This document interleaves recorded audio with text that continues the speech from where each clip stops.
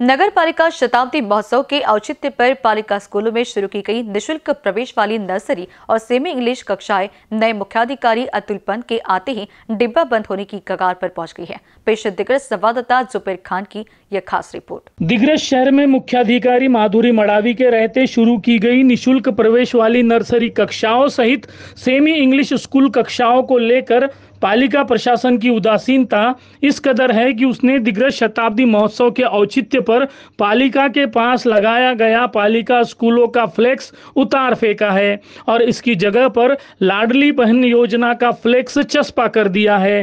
कहने का तात्पर्य ये है कि दिग्रज शहर के गरीब परिवारों के लिए शुरू किए गए निशुल्क नर्सरी प्रवेश वाली स्कूलों की महत्वाकांक्षी योजना को डिब्बा बंद करने की पूरी योजना हो चुकी है। शहर के आम नागरिकों को इस बात से आपत्ति नहीं कि पालिका ने स्कूलों के फ्लेक्स उतार फेंक दिए हैं, बल्कि आपत्ति इस बात से है कि नवागमित मुख्याधिकारी अतुल पंत पालिका स्कूलों के नर्सरी और सेमी इंग्लिश कक्षाओं को शुरू करने के लिए कोई ठोस कदम उठाने से कतरा क्यों रहे हैं, जबकि शहर भर के आम लोग इन स्कूलों की ओर आस लगाए बैठे हैं। कई संवेदनशील नागरिकों ने आर्थिक योगदान देकर अपना सामाजिक दायित्व तो भी निभाया है, लेकिन पालिका प्रशासन न तो इन स्कूलों के लिए शिक्षक वर्ग उपलब्ध करा रहा है, ना ही गणवेश और ना ही किताबें उन्हें प्रदान की जा रही है।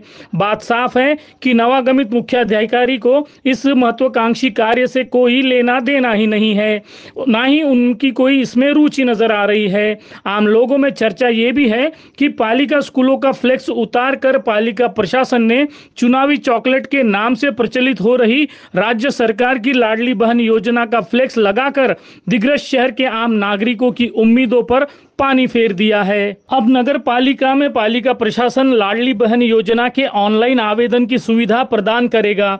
लोग भी इस पंद्रह सौ रुपए प्रति महीना वाली योजना के लाभ के चक्कर में पालिका के चक्कर काटेंगे। स्कूलों का मुद्दा जनमानस के पटल से आउट हो जाएगा। और ये सब होता हुआ देख कथित जिम्मेदार जनप्रतिनिधि हमेशा की तरह चुप्पी साधे रहेंगे। और इसी तरह से दिग्रस नगर पालिका स्कूलों का भविष्य अंधकार में डूब जाएगा। शिक्षा क्षेत्र के साथ हो रहा खिलवाड़ किसी दुष्कर्म से कम नहीं। और हकीकत ये भी है कि दुर्जनों के दुष्कर्मों के पीछे सज्जनों की मौन सम्मति खड़ी रहती है। जहाँ सज्जन निष्क्रिय हो गए वहाँ दुर्जन अवश्य सक्रिय हो गए और जहाँ तक दिग्रस नगर पालिका के शिक्षा क्षेत्र की बागडोर संभालने वाले, प्रशासकीय तथा राजनीतिक दुर्जनों की बात है तो ये बात मान लेना अनुचित नहीं कि इस क्षेत्र का पतन अब अपने आखिरी पड़ाव में पहुँच चुका है। इन बीसीएन न्यूज़ के लिए दिग्रस से जुबैर खान की रिपोर्ट।